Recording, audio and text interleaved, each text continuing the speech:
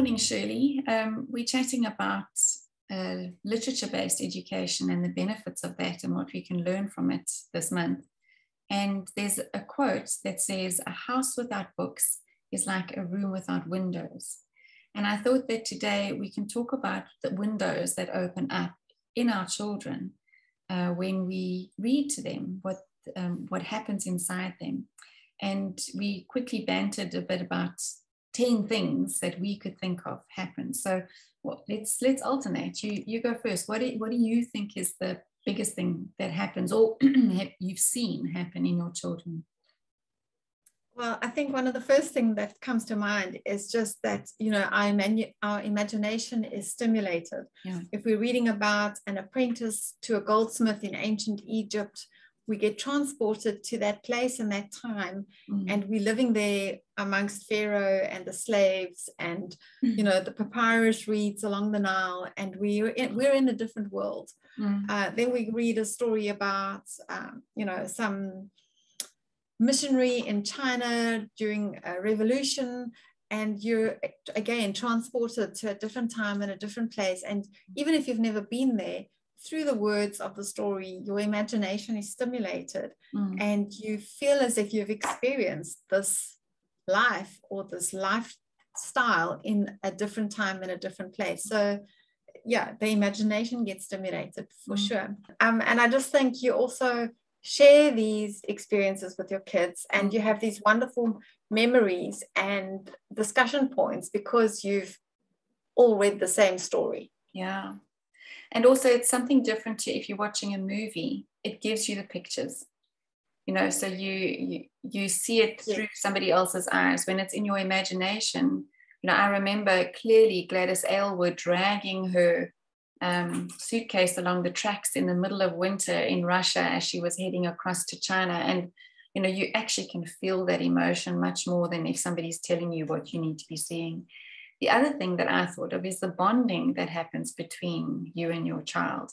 Like you said, you you have a shared experience, something that you can talk about later, but it's just it's a moment when everything life pause in life just pauses. All the chores pause, all the things that might have happened around the, the desk pause, and you just bond you know, while you read together which was one of my favorite things looking back now with the kids all being big and grown and gone. Um, and the other thing that uh, that we can maybe also mention is that when when you're reading aloud to them, you develop their vocabulary. Do you want to chat about that? Well, yes. Obviously, a story is normally written in a little bit more formal language than we speak every day to each other.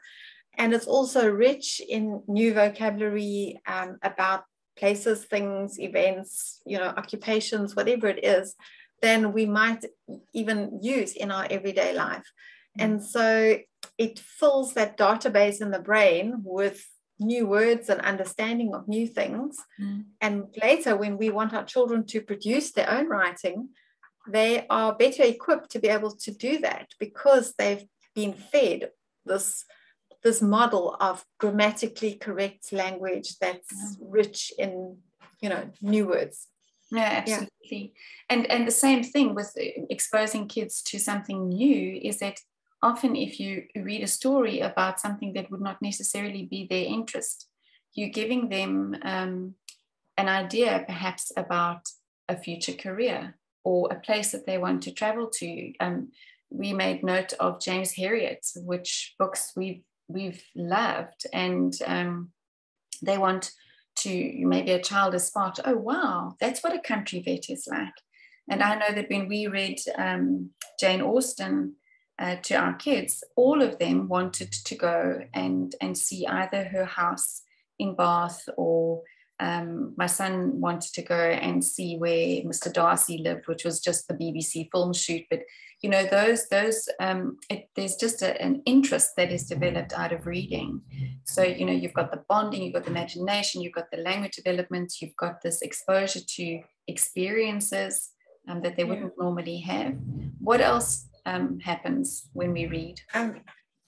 Yeah, I just want to reiterate the, the visiting places. You know, we read stories about the Fish River Canyon or the Blue Grotto in Italy. Mm. And um, sometimes children end up wanting to go to those places and see it for themselves because they were captivated by the story and the place yeah. that, that, that happened there. Um, the other thing is that they learn to deal with challenging topics. So I was thinking now when you spoke about how we get stirred of how many times I've I've cried at the end of a sad story, you know. Yeah. And the children sometimes laugh at me because as children they don't identify with the character as I do as a mother. I'm thinking of that book Skylark.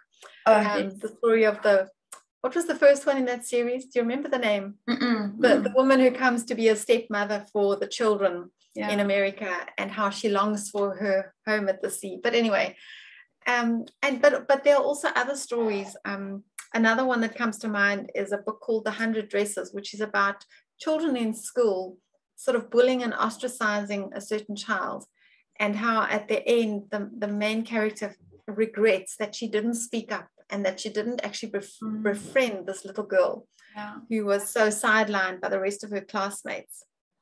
And We've often also referred to it when we've had incidences at sport and places we've been where some children have been nasty and, and bordering on bullying. And then we've been able to talk about how to deal with those kind of situations. Mm. Um, other things just might be things like death or divorce or war or what, whatever difficult topics are you know in your family's circumstances sometimes if you can read a book about them you can talk about how other characters dealt with them, or your children can just realize that they're not alone, that these are just things that are common to human nature. We, you know, there's good times and there's bad times. Yeah, for sure. And then, then also the the fact that when you are reading and you're discussing these things with the kids, you train them to become discerning readers.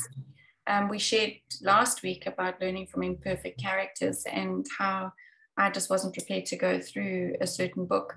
And there have been books through the years of homeschooling that we've just said, mm, okay, not this one, and just put it onto a, a not today pile and um, or a not ever pile in some cases.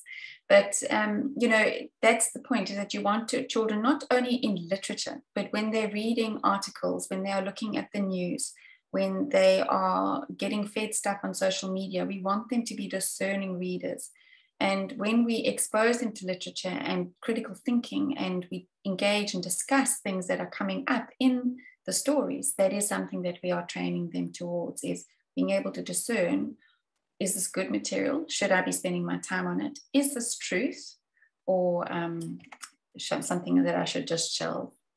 Um, and sometimes it backfires on the mom. Today I got a book from the library that came highly recommended, and my son looked at it and said, but this is probably going to just be twaddle because it's going to be a series and the children aren't going to grow in character and I don't want to read it.